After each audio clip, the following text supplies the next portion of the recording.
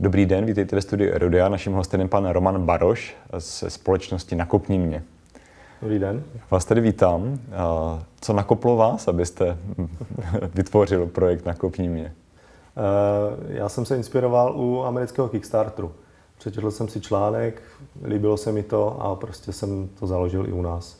Myslím si, že to je dobrá věc. Eh, Kickstarter funguje po Spojených státech nebo mm-hmm. celosvětově? Jak máte informace? Uh, v podstatě funguje celosvětově, ale pokud se chcete zúčastnit nějakého projektu, tak musíte mít účet v americké bance. Mm-hmm. Můžete ten princip uh, Kickstarteru trochu mm, osvětlit těm, mm-hmm. co mhm. třeba to neznají? Kickstarter se specializuje na projekty kolem umění. Takže pokud jste nějaký umělec nebo umělecky nadaný člověk, založíte si tam projekt a sháníte peníze na jeho realizaci. Chcete například natočit nějaký film, CD nebo, nebo něco podobného a těm lidem, kteří vám tam budou přispívat, tak slíbíte nějaký odměny. Jo, když třeba dáte nějakou menší částku, tak budete v titulcích toho filmu když dáte nějakou větší částku, tak půjdete na nějakou VIP premiéru nebo něco takového. A když dáte zásadní, tak budete třeba podílníkem nějakého třeba, jo, můžete profitu, mít který třeba podíl na zisku nebo něco Jasně. podobného. Jak jste to uchopili vy pro české prostředí? No, předpokládám, že přestože hmm. nakopní.mě mě není cz doména, tak předpokládám, že míříte na český trh. A... Určitě, máme i český alias, takže když půjdete na nakopněmě.cz, tak přijdete taky k nám. Jak jste to uchopili? Jak, jaká je česká podoba? Eh, česká podoba je velmi podobná vlastně, ale rozšířili jsme to o další čtyři kategorie. Eh, máme i to umění, máme podnikání, máme veřejné projekty, máme charitu a tak dále. Takže Komu teda můžeme, můžete pomoci tím projektem? Kdo jsou ty vaše cílové skupiny? Možná to vezmete klidně jednu hmm. po druhé. Eh, obecně jsou to prostě lidi, kteří mají nějaký nápad, který chtějí realizovat a nemají na něho peníze. Nebo nemají všechny peníze, potřebují třeba zbytek do nějaké částky sehnat. Takže ať už je to podnikatelský, nebo mm. je mhm. to neziskový, nebo je to sponsoring, nebo je to umění, tak mhm. všichni by se měli nějakým způsobem na vašem portále zorientovat a dát to mm. do té mhm. správné kategorie. Mm. Jak je to u toho podnikání? Protože to je to, co eh, nás zajímá, nebo i naše, naše diváky. Mm. Jakým způsobem ten podnikatelský záměr tam mohu dát? Do jaké míry podrobnosti se ta, mm. ta, ta informace tam očekává, že ji vložím?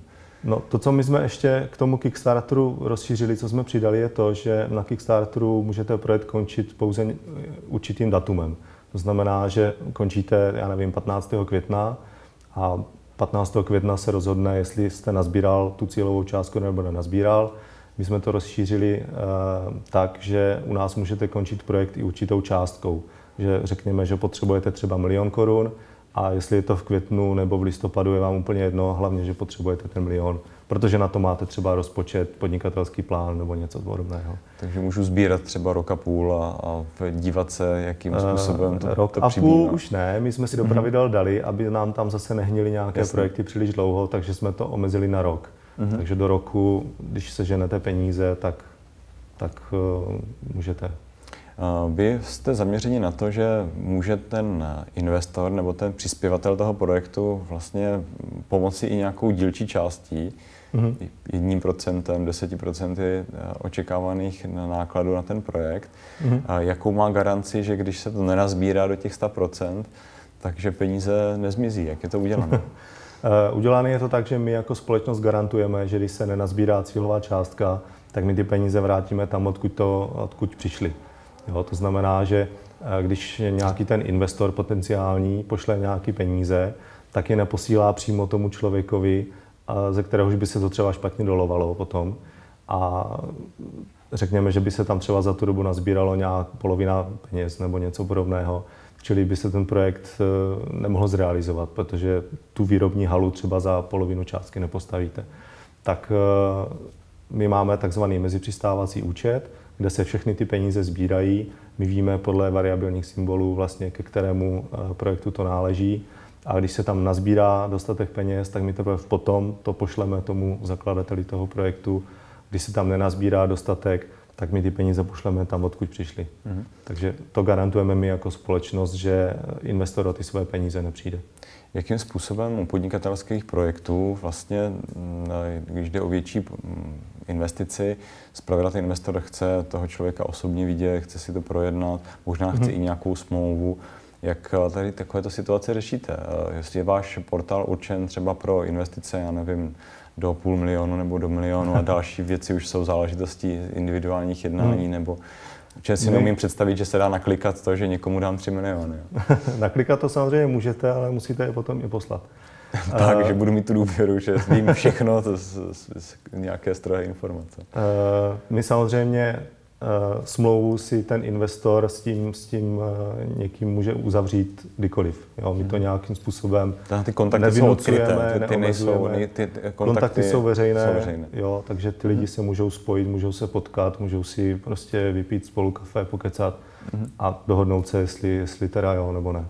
Jo, to my nějakým způsobem neovlivňujeme, tady tohleto ani velikost, takže ani velikost toho projektu nebo té investice není nějak limitovaná. Ne, ne, ne. Pokud si někdo bude chtít podepsat smlouvu na 500 korun, tak klidně Jasně. to může udělat. Jaká je vaše odměna, když se teda podaří a mm-hmm. projekt eh, bude zainvestován, ať už z dílčích příspěvků nebo nějakým třeba jiným investorem, jak, jaká je vaše od, provize? Uh, my si bereme 10% z částky, která se nazbírá. Jo, protože může se nazbírat i daleko větší částka, než je ta cílová pokud bychom třeba měli projekt, který končí datumem, třeba toho 15. května, a cílová částka je třeba 10 tisíc, ale nazbírá se tam 150, tak my si vezmeme 10% z toho, co se tam nazbírá. Jo, typicky jsou to projekty ty uh, charitativní, mm-hmm. i když vlastně na tu charitu my máme výjimku. Tam si bereme jenom 5% vlastně mm-hmm. z, té, z té nazbírané částky. My jsme mluvili o podnikatelských záměrech, mm-hmm. teďka jste zmínil charitativní. Jaké je teda celé to portfolio kategorií, které charita, podnikání, umění, veřejné projekty a, a uh, co je tam Sponsoring. Sponsoring. Uh-huh. Uh, veřejné projekty, co to znamená? Komu je to určeno? Uh-huh.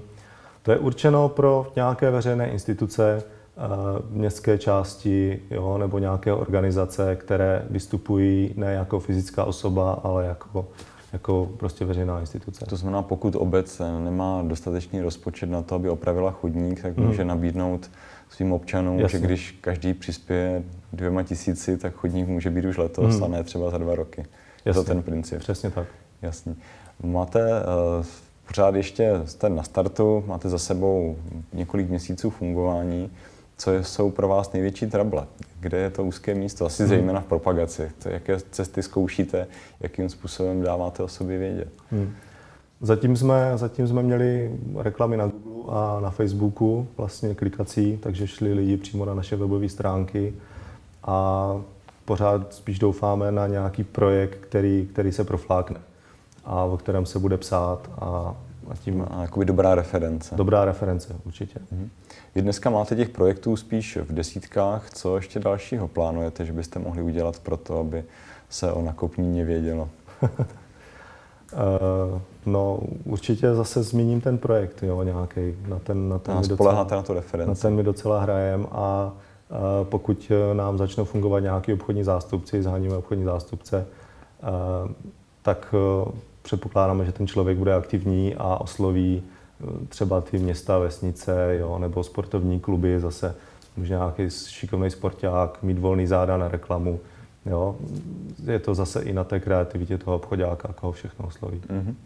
A jakým způsobem vlastně to dneska provozujete? Máte nějaké zaměstnance nebo se snažíte držet uh, nízkonákladovou strukturu, dokud se neobjeví ve výnosi? Určitě, určitě držíme nízké náklady, docela hodně a děláme to, děláme to s kolegou dva vlastně. Takže všechny věci, které my dva nezvládneme, Já to tak, při zaměstnání. takzvaně no, outsourcujeme. Jasně. Takže zaplatíme si třeba grafika, který nám vyrobí grafiku, jo. zaplatíme si tamhle někoho, kdo nám zase udělá něco jiného. Mm-hmm. Pane Bartoš, děkuji, že jste dorazil do studia. Budu držet palce, aby se dařilo propojovat ty, kteří chtějí investovat, ať už do charity nebo do podnikatelských projektů a budu věřit, že váš projekt pokvete a dokáže prorazit na českém trhu. Děkuji, hmm. že jste přišel. Díky. A vám děkuji za pozornost a snad vás naše povídání inspirovalo.